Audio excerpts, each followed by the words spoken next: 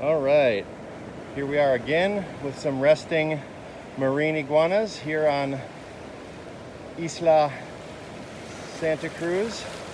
That's a great blue heron in this mangrove something. And here's we have some marine iguanas demonstrating how and why they're called marine iguanas. Because these bad boys can and do swim. Right, friends?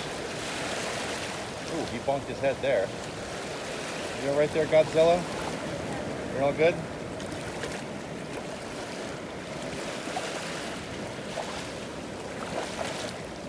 So now, I presume he's gonna go up here with his friends and rest.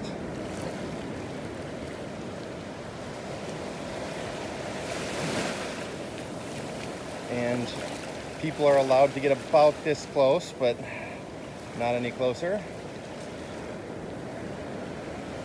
Not that you would want to. You take a look at these claws, and I'm sure they have teeth to match. Right, friends? What's happening? Anything? See the match yesterday? No?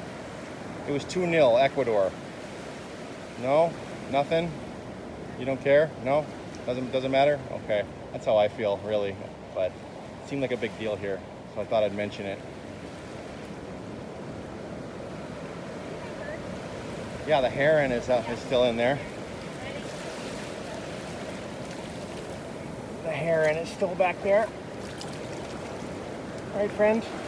Looking for some crabbies? Yeah?